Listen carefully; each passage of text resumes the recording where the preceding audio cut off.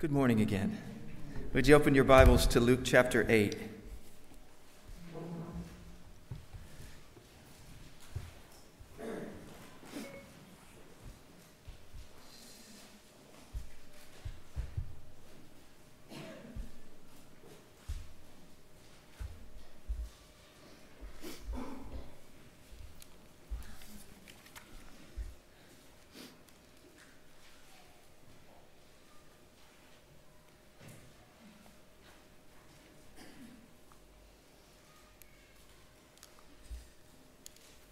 Okay, we're going to be starting in, in Luke chapter 8, six, verse 16, and we're just going to go down to the 25th verse.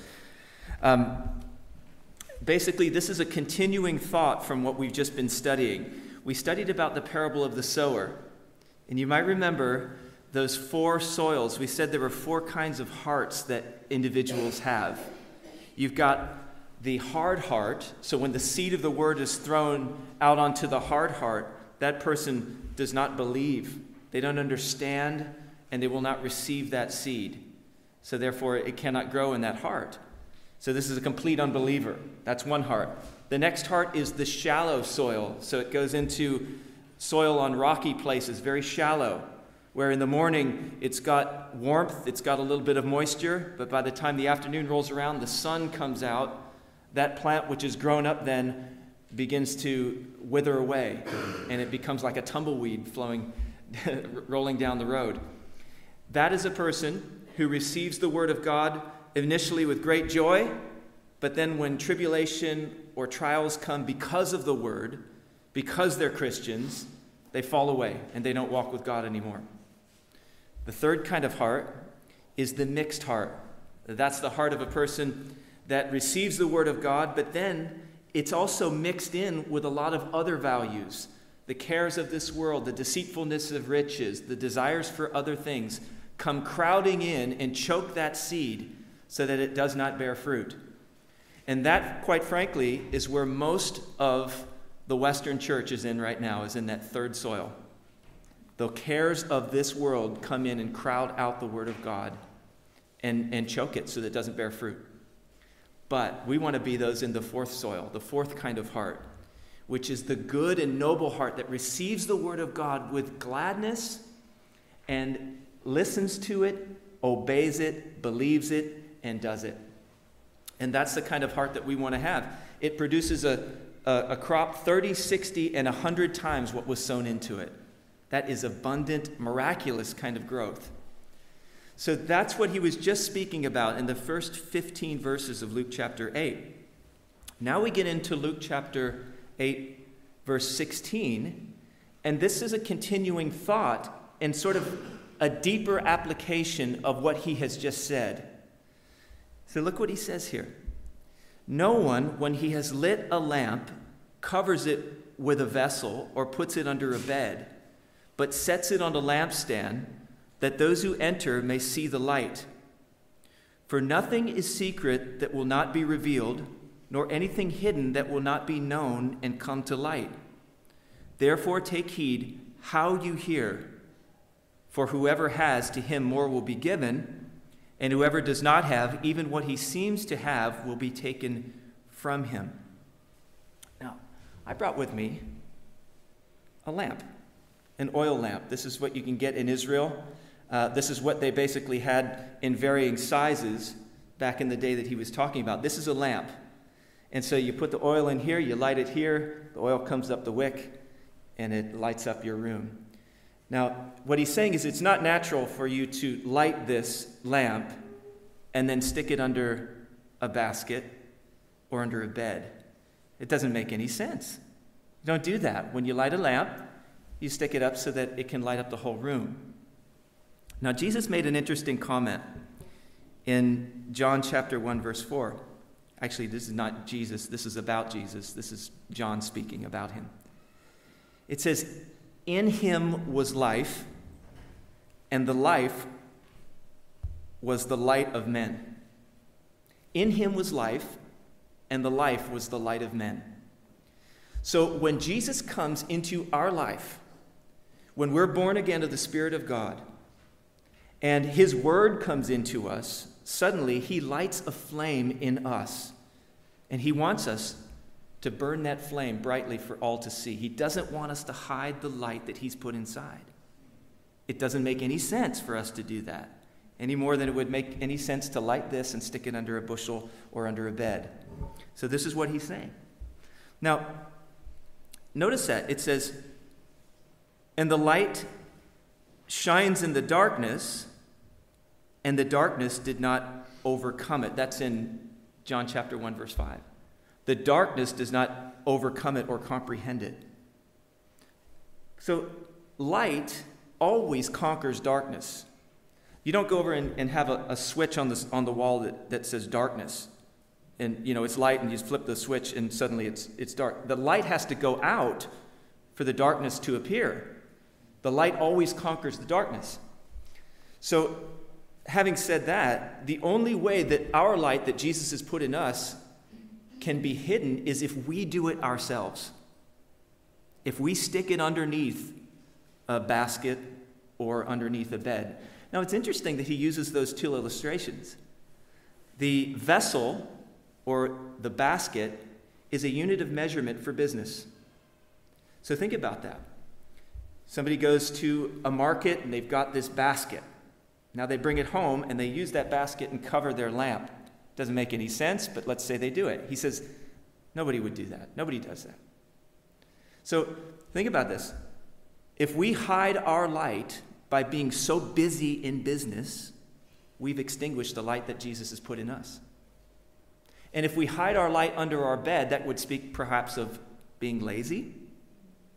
I'm not going to do it, you know. Or we might use lame excuses like, hey, I don't have the gift of evangelism. It's just not my thing, you know. Well, we may not have the gift of evangelism like Austin or like some others that do, but we're all called to evangelize. We're all called to share our faith and to shine the light.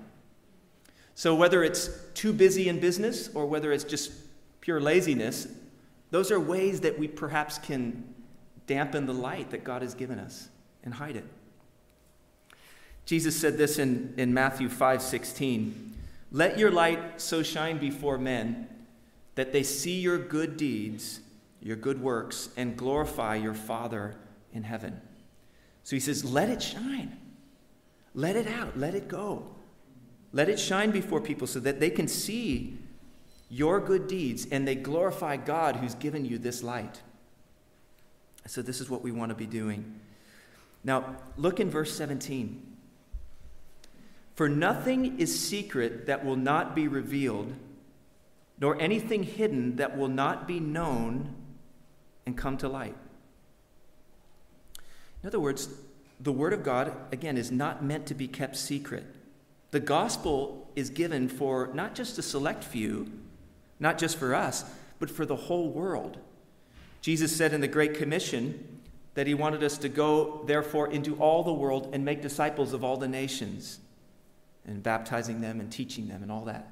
So we're to go everywhere. We're to shine the light in all these places. And we are responsible for the knowledge that we have been given by God. So when He teaches us, when we study the Word, when we understand it, there comes with that a responsibility then to share it with other people. It's a sad thing when there are Christians who are very content to go to heaven alone. But that's not the way we should be. We should immediately want to share the gospel, share the faith, share the word with other people all around us in our families, workplaces, communities, wherever we go. We should be concerned about the eternal destiny of every person around us because of love. And so we're responsible for what we know. Now, Paul said it like this He said, Let a man so consider us, this is 1 Corinthians 4. Let a man so consider us as servants of Christ and stewards of the mysteries of God. Moreover, it is required in stewards that one be found, what's the next word? Faithful. So when you've been given a trust, a steward, somebody has been given a trust, in, in something valuable to look after, and the gospel, the word of God is valuable, he says, you need to be faithful in executing that trust. he goes on in that chapter to say, Therefore, judge nothing before the time until the Lord comes, who will both bring to light the hidden things of darkness and reveal the counsels reveal the counsels of the hearts then each one's praise will come from God so he says during this time there is going to be a judgment on how we have executed the trust that we've been given We've, been, we've received truth, we've received knowledge, now we need to be able to share it with other people. So, we're to be stewards, is what he's saying. And then in verse 18, he says, Therefore take heed, notice, how you hear. Not necessarily what you hear, although that is important, but how you hear what you hear. So we want to be those who are believing on the word. We're, we want to be those who are acting on the word. We want to be those who are sharing the word of God. This is how we should be hearing. He says, For whoever has, to him more will be given, and whoever does not have, even what he seems to have, will be taken away from him. Do you remember the parable of the talents? Where when Jesus uh, he talks about a man who was going off to a far country to, to inherit a kingdom and to come back, and he gave his servants one talent each to these three servants. And when he came back, the first servant came and he says, Master, your talent has made ten more. And he says, Well done, you, you'll be made ruler over many cities in my kingdom. And the next one came and said, Master, your, your talent gained five more. He used that talent and did something with it. He says, Well done, you'll be a made ruler over five cities. And then the last guy came and he says, Master, your talent here it is. I give it back to you. I didn't do anything with it. And he said, Well, take away that one talent that that guy has and give it to the one who has 10. And, and they said, Master, that, he's already got 10. And he says, The same thing that Jesus is saying here whoever has, more will be given, but whoever does not have, in other words, who, haven't, who hasn't used what he's had, even what he seems to have will be taken away from him. So, this is what he's talking about regarding the information, the knowledge of God, the truth of His Word that we receive, we need to use it.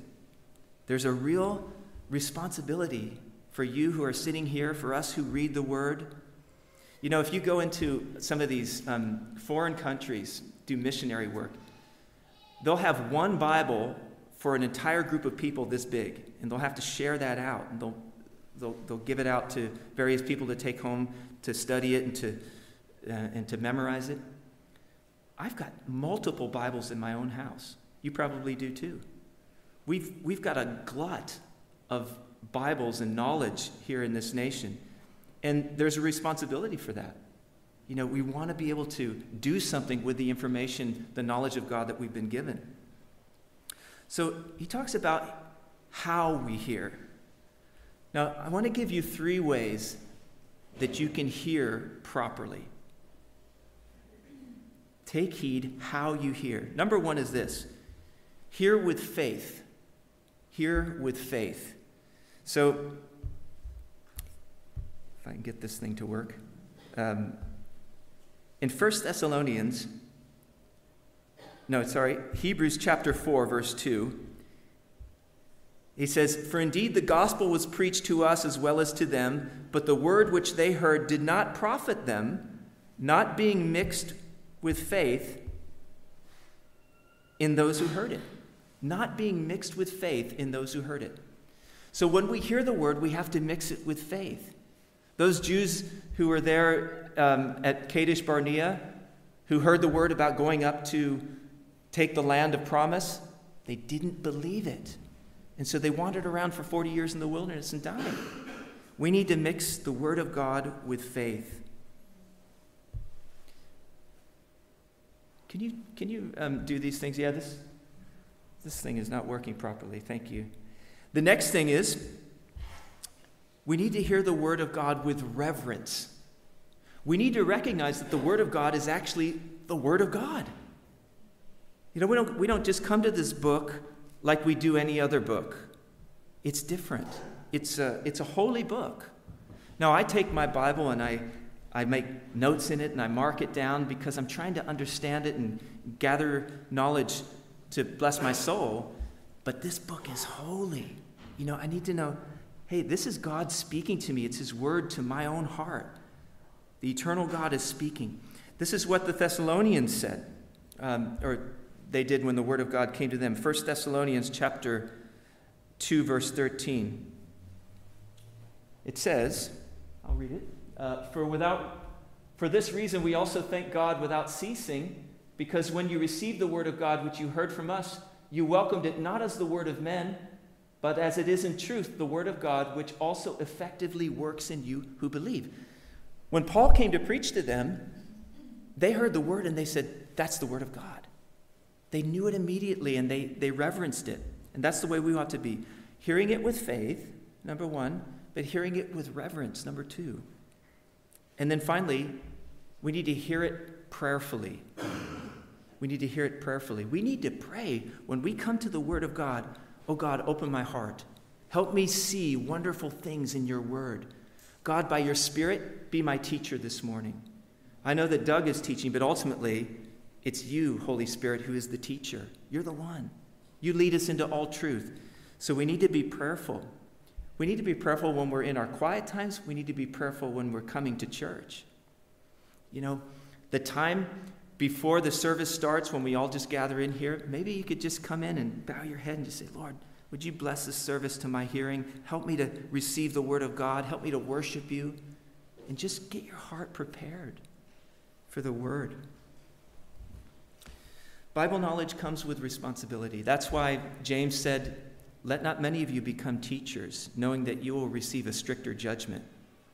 You see, I'm in the Word of God all the time preparing to teach you I'm going to be judged stricter than, than you will be on the day of judgment because I've had all of this access to Bible commentaries and different things. But whatever level of Bible knowledge you have, you're responsible to use that. This is what he's saying. Well, the thought might come into someone's mind then well, if that's the case, then ignorance is bliss. It'd be better not to know the Word of God. No, ignorance is not bliss, ignorance is darkness. The world is in a dark place. The world does not know God. They don't have the hope of God, but we do. When we open the Word of God, it's like light into our souls. Ignorance is not bliss. Knowing God is bliss. That's what it's all about. And so, you know, in the scriptures and in our relationship with God, we can go as deep with God as we want to go. God says here, Jesus says, to whoever has, to him more will be given. If you study the word, if you apply it to your life, God's going to give you more. If you act on the light that you've been given, God will give you more light. You can go as deep with God as you want to go. And the blessings are just incredible. You know, closeness with God, strength, power, joy, peace, assurance, faith, wisdom from God, all of those things can be yours. It's bliss. Some people, I think, are, are bored of Scripture because they don't know enough. They haven't gone deep enough. If you're feeling that way in your Scripture reading, if you think, oh, this is just boring, it's not because you've got too much of the Bible, it's because you don't have enough. Just keep going deeper with Him, and the treasures are boundless. Well, look now into the next section here. Then his mother and brothers came to him and could not approach him because of the crowd. And it was told him by some who said, Your mother and your brothers are standing outside desiring to see you. But he answered and said to them, My mother and my brothers are those who hear the word of God and do it. So again, we have this thing about listening not just to hear it, but, but actually to obey it, to do it, believe in it. Now, this little section here teaches us a few things. Number one, Mary had other children. Now, if you have a Catholic background, I've got a, a little Catholic background, they teach about the perpetual virginity of Mary. So, Mary had Jesus, but then she remained a virgin till she died. Well, here it talks about Mary came uh, with his brothers. We know from Mark chapter 6, verse 3, it says there that Mary came with four sons and at least two daughters. So talks about sisters. So Jesus had at least six siblings four brothers and at least two sisters. So she wasn't a perpetual virgin according to the Word of God. Um, second thing is, Mary doesn't appear to f- have fully grasped the nature of Jesus and his mission. You know, it tells us in another gospel account about this that the townspeople from Nazareth, along with Mary and his brothers, came to him and they thought he was crazy. What are, what are you doing? And they tried to get into the room where he was. She didn't quite grasp this whole thing. Now, she didn't know that she was going to have to share him with the whole world. See, Jesus wasn't just her son, he was the Savior of the world. He was God's son that was given for the life of all humanity. And do you remember when um, Mary and Joseph went up to dedicate Jesus at the temple? And it was Simeon who came and said, You know, he's going to be for the rising and fall of many in Israel, and a sword will pierce your own soul too. I think this is one of those swords that pierced her soul, where, man, I'm, I'm trying to get to my son, but, but here he says, even these people around me, if they obey the word of God, are my brother, my mother, and my sister. You know, they're my family. I think that was probably painful, but it was necessary for the life of all mankind. But I think the third thing that we see in this section is simply this that closeness to Jesus is based on obedience to his word and not on blood relationship. You know, here's Mary and his brothers coming to Jesus, but the crowd had kept them away. There is no crowd in the world that can keep us away from Jesus Christ spiritually. No physical human being can keep us from him. Because spiritually, if we obey his word, we are as close to him as we want to be. It's amazing. Jesus said this in, in John 14, verse 21. He says, He who has my commandments and keeps them, it is he who loves me. And he who loves me will be loved by my Father, and I will love him and manifest myself to him. That's a great promise. He says, Look, if you keep my word, if you obey what I'm saying to you, then you show that, that you love me, and I will love you, and I will manifest myself to you. I will come to you, I will reveal myself to you. That's what I love about the, the scriptures. The scriptures are axiomatic, they're self evident. In other words, when you do what it says, Jesus Christ reveals himself to you. And so, if you want to know God better, just obey what he says for you to do. So, no crowd can keep you from Jesus. You can, you can get as close as you want to him uh, any place you go. So, a few weeks back, I was up in London. I'm on the tube, thousands of people around. And what do I do just in the midst of it? I just sit down and I just begin to pray. And I'm right there with the Lord. No problem.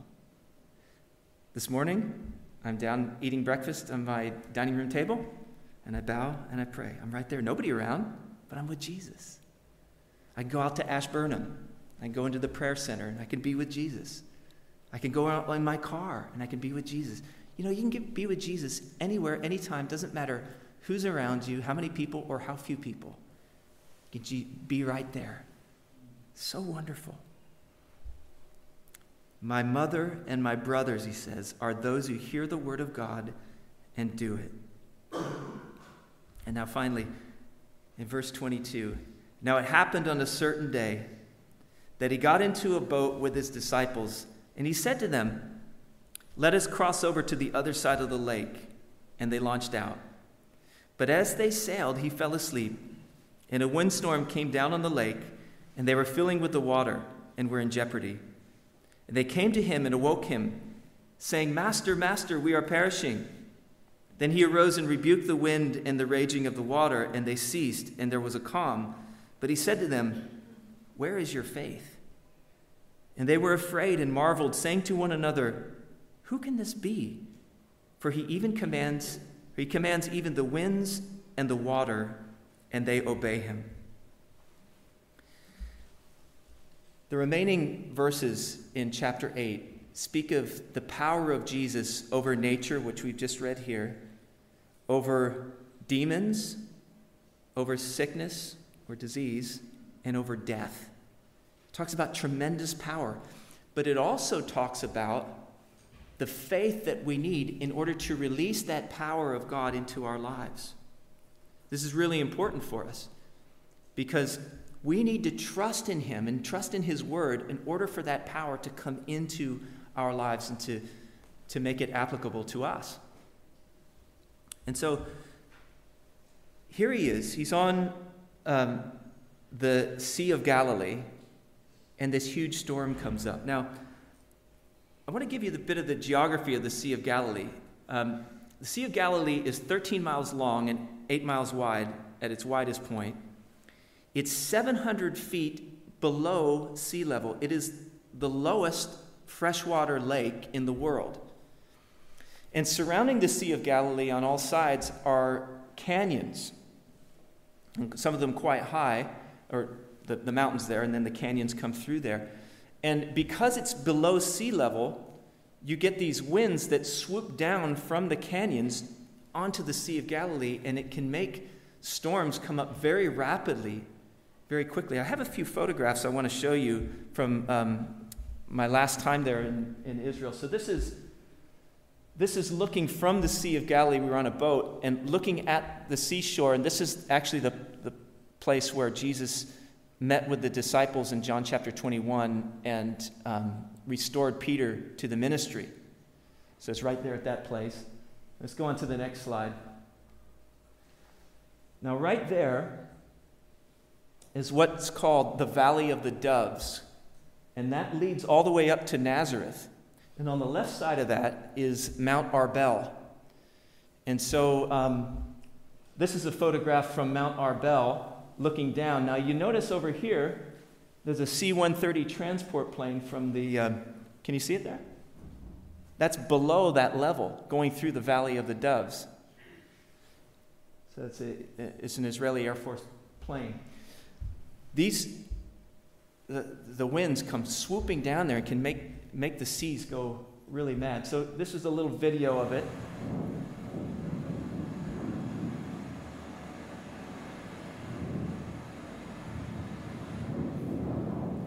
So it gets pretty strong. That's good. Thank you. So you get a chance to see that when you go to Israel with us next year. Um, but it was so intense that the disciples began to freak out. Now, bear in mind that a lot of these guys were fishermen. They'd been on this lake a lot, they understood how rough it could be, and they were still freaking out. But you notice what the command was. Oh, by the way, um, this storm that rose up on this lake, on the Sea of Galilee, Many commentators believe that this could have been a direct work of Satan. Not just the winds coming down, not just something natural, but a direct work of the enemy who has power, we know from the book of Job, over nature in a lot of ways. Um, and the reason they believe that is because in verse 24, Jesus rebuked the wind and the waves. And that word rebuked is the same word he used to rebuke demons in Luke chapter 4, twice. So it could be that the enemy, Satan, saw Jesus and the disciples in this boat. He said, I'm going to take them out. And Jesus stands up and he rebukes it. Everything's calm.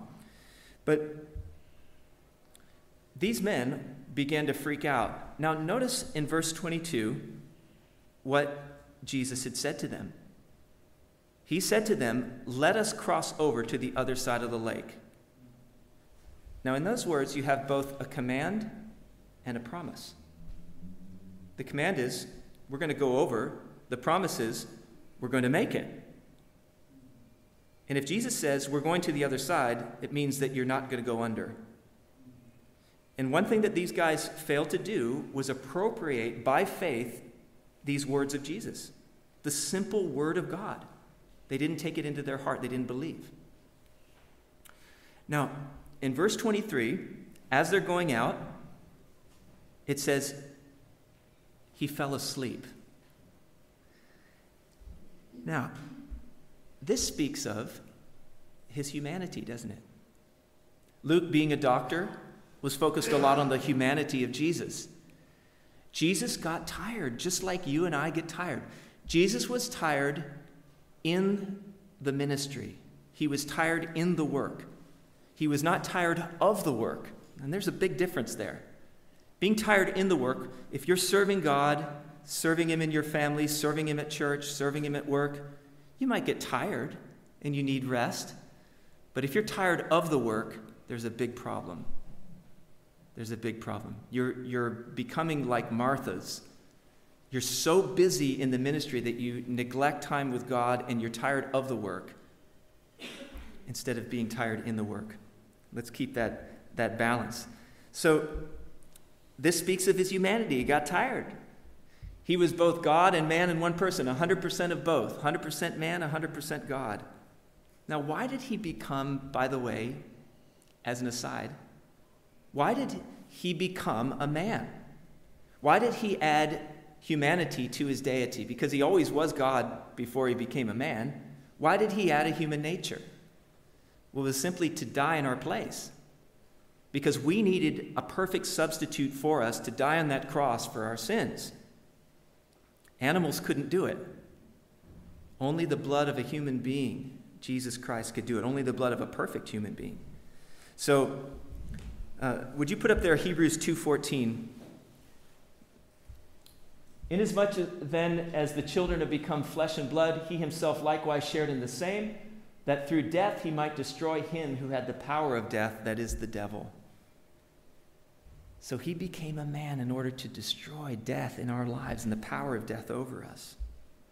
So, the wages of sin is death. Every single one of us has committed sin the penalty for that is death. Jesus came in to pay the death penalty that we could be forgiven. And so these guys, when Jesus is there asleep in the back of the boat, and I, I just picture this in my mind how funny it would be. He's just snoozing. And they're, they're trying to keep this all together, you know, and it's just bashing. And he's no problem whatsoever for him he can sleep through that. I think about the peace of a person that can sleep in the midst of a storm. Don't you want that in your own heart when storms of life are around you? And you can just, it's okay, God's got it, no problem. We're making it to the other side.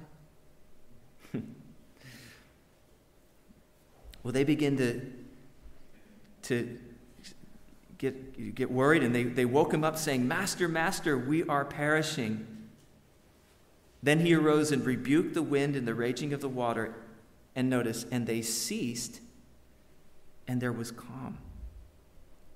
Now, they were looking with the eyes of their physical eyes. They were looking with human eyes at the storm that was all around them. What they needed to do was see with the eyes of faith. Because when you see with the eyes of faith, it doesn't really matter what you see with your physical eyes you know that God's going to take care of you. He's going to, he's going to help you through whatever you're facing. J.C. Ryle said this It is only true, too true that sight and sense and feeling make men very poor theologians. If you're relying just on your physical senses, often you can just forget about the promises of God. You forget that God is with you, that He's going to help you. he said, We're going over to the other side of the lake. And if he said that, it means they weren't going to go under. We're going to be reading in a couple weeks' time about David um, and Abiathar, one of the priests. Well, a man named Doeg the Edomite came and killed all of Abiathar's family. And Abiathar went and found David. And David made these, this amazing statement to Abiathar. He said, Stay with me, do not fear, for he who seeks my life seeks your life, but with me you shall be safe. With me you shall be safe. I, I, I see that because David saw himself as being the anointed of God. He knew that God had his hand on his life, that he was going to be the king someday. He says, Stay with me. This guy's trying to kill me, but in, with me, you've got safety. And I see in this a picture of Jesus Christ. Look, the enemy is after Christ, he's after you if you're a Christian. And Jesus says, Hey, he's after me, he's trying to kill me, but with me, stay with me, you be safe. You see, Jesus was in their boat, they didn't have to worry. Jesus is in your life, your boat, so to speak. You don't have to worry. He's going to take care of you. He's going to help you when all the seas, all the trials, all the storms of life come up. He's going to help you through. Notice immediately what Jesus does. He stands up, he rebukes the wind and the, and the waves, and it says, And they ceased, and there was a calm. Now, you know, you can, you can stop wind from blowing, but the seas will still be churned up for quite some time. When Jesus did this, the wind stopped and the sea immediately went calm. I imagine it was just glassy calm, like that photograph I showed you before. Just like that. Jesus can do that. If he can do that here in nature, well, he can do it in your own heart. You ever get stirred up like that? You ever get anxious and just worried? You get worried about your finances. You get worried about your children. You get worried about your family. You get worried about work. You get worried about the government. You get worried about Brexit. You get worried about the England team. You get worried about Liverpool. You get worried about all of these things. We get worried. Fears just come rushing in. And Jesus can immediately go, Be still, be calmed, and just like that. Now, He can do that in our own hearts, even if everything around us is still going crazy. Because what was he doing? He was still sleeping in the he was in the boat when it was all going nuts. He already had it. He was sleeping. And he was calm. Sometimes when we pray, we pray, God, change everything else outside of me, then I'll be happy. I'll be calm. I'll be peaceful. And God says, I'll give you a better thing. I will calm your own heart in the midst of all of this. How's that? Okay. And he may or may not change what's on the external. But He can certainly do that in an instant in our heart. He can make everything smooth out and give us peace. I remember reading in, you remember Tom Hamblin, who came here a couple years ago, great brother, older guy, was a Bible courier into Muslim nations. Well, one time he got arrested, was put into prison in one of these Muslim nations for, for sharing the Word of God. And the uh, one of the ambassadors from the British embassy there came and spoke to him, and he said, How are you doing? Um, first of all, he said, Do you need any soap for some reason? You know, you're British, you got to stay clean. You know, do you need any soap? He says, No, I'm fine, I've got soap. He says, How are you doing? And he said, I feel perfect at, at, perfectly at peace. And the guy says, What? I'm at perfect peace. I'm right in the center of God's will. No problem. God's going to take care of me. God got him out. All the Bibles were saved. They were all distributed to the Christians in these nations. God just did it. You know, the Bible says in Isaiah 26, verse 3 He will keep in perfect peace him whose mind is stayed on you because he trusts in you. Perfect peace, him whose mind is stayed on you because he trusts in you. Trusting in the Lord. You know, all of that power that Jesus had to still the storm, he makes all of that power available to every single one of his children in order to save them from any trial that they go through. He is able to save to the uttermost those who come to him by faith. He'll pour out all of that power to help us. The Bible says, He who is in us is greater than what? He who is in the world. Right? James just read when we opened the service. John chapter 16, verse 33. In the world, you will have tribulation, it's guaranteed, but be of good cheer. I have overcome the world. Cheer up. Cheer up. Think about this. You are guaranteed that outside of the, the walls of this church and outside of your own heart, there's going to be trials, tribulation, difficulty, storms. But he says, cheer up. Don't be bummed out about that. Smile because I have overcome the world. I'm with you. I'm going to take care of it. In verse 25, he said to them, Where is your faith? Where is your faith? And that's a good question, isn't it? Where is your faith? You know, we exhibit faith all the time. When you get up in the morning, you flip the light switch on, you just immediately have faith that, that the power is going to go to the light and it's going to come on. Somebody hands you a cup of coffee, you have faith in your spouse that they haven't put arsenic in your coffee. You get on a tax, you get in a taxi, you have faith that the driver is going to get you where you need to go. A bus, take a plane. You know, you're, you're putting your trust in all of these things. We are all trusting right now that the chairs that you're sitting in are going to hold you up. You probably didn't think about that too much, but you, you put faith in it. We're putting faith in the builder who built this thing in 1912 that this roof is not going to come collapsing down on us. We've got, we're using faith all the time. He says, Where is your faith? If we can exhibit faith in all of these other things, is it really so hard for us to put our faith in God's word, in what He said to us? He wants us to keep, uh, keep trusting Him. Numbers 23, verse 19 says, God is not a man that he should lie, nor a son of man that he should repent. Has he said, and will he not do? Or has he spoken, and will he not make it good? If God's promised us, we need to exhibit faith and trust in it and apply that to our life. And that's when the power of God comes in. You see, what good is the Word of God if we don't use the Word of God? What good is a sword, if you're a soldier, if you don't use the sword? The sword is not meant for the parade ground, not meant to just fling it around, you know, and say, look what I know. You need to use it. It's meant for the battleground. So when difficulties and trials and storms and the enemy comes into your life, that is the time to use what you know. You've got to use that word. When Jesus was tempted by the devil, remember those three great temptations at the end of 40 days of fasting? He always responded, It is written, it is written, it is written. That's how he defeated the enemy, with the sword of the Word of God. We've got to use it too.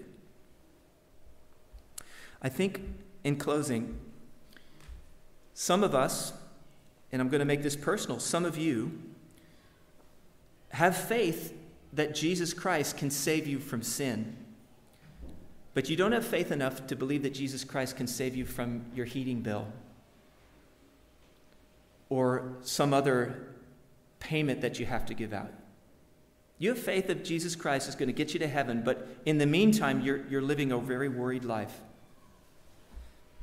Jesus said in, in Romans chapter 8, verse 31,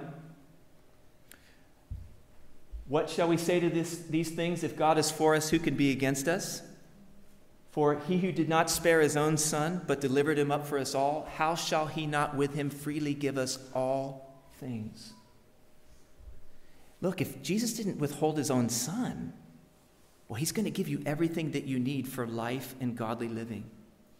He wants you to live a joyful Christian life, totally in faith, trusting him. Matthew 4:19 Paul says, "And my God shall supply all your need according to his riches and glory by Christ Jesus." Matthew 6:33 Seek first the kingdom of God and his righteousness, and all these things shall be added to you. Some of you have faith enough in Jesus to save you from your sins, but you don't have faith that Jesus can save your children, your own kids. Psalms 138, verse 8 says, that he will perfect that which concerns me. God cares about the things that concern you and me. He loves us. He takes those personally, and he'll make it right. And some of you have faith that Jesus can save you from the guilt of sin, but you don't have faith that Jesus can actually save you from the power of sin. You see, you know that you're going to heaven, you're forgiven for the things, but actually to overcome a besetting sin in your life, man, I just can't get over this thing. You know what? Jesus can help you get over it. He's got power to help you break sin in your life. Philippians 1 6. He who began a good work in you will be faithful to complete it until the day of Christ. Philippians 2:13 He is working in us both to will and to do for his good pleasure. He gives us the the desire to obey him and the power to do what pleases him.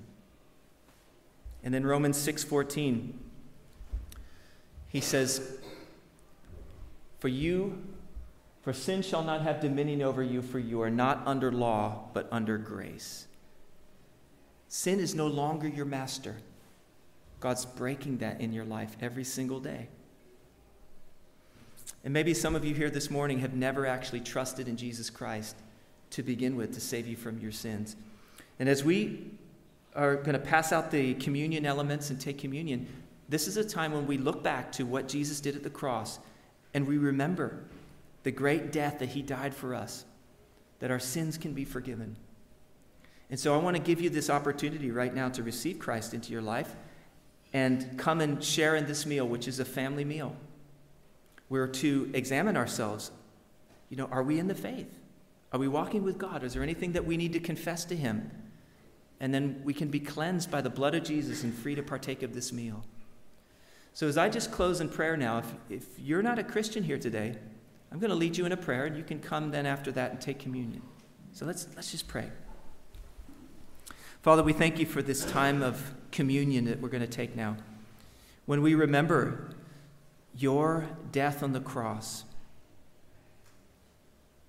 thank you, Jesus, that you didn't just stay in heaven, but you left the glories of heaven to come to this earth to die that horrible death, to suffer the wrath of God on our behalf, that we might be forgiven. And I want to pray for anyone here this morning who needs to receive you, that right now, right here in this place, they would do it. And if that's you this morning, I want you to pray this prayer after me. Just say, Lord Jesus, come into my heart.